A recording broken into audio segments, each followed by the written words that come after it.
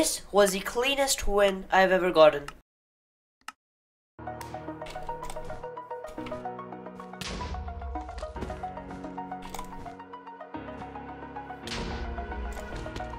over the edge.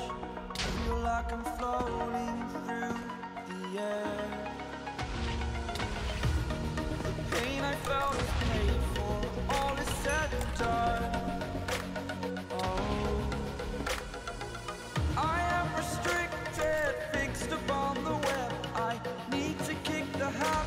my mind.